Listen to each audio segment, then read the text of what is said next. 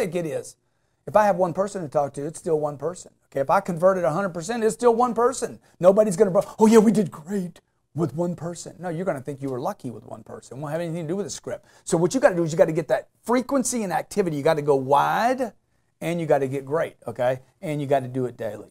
The only way prospecting, prospecting is going to work is if you're doing it every day. If you're thinking every day. I'm writing a book right now and I talk about I talk about hiring and recruiting.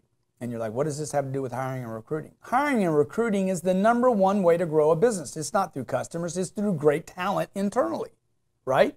This is a major problem. How do I recruit great talent? How do I recruit great talent? I'm going to recruit great talent. To do that, what I want to be doing is I want to be looking as a priority for great talent. He's always recruiting. Now, that's the way I want you to think as a business owner. Always be recruiting for talent and always be recruiting for this. If, if they're not going to work for me are they're going to buy for me,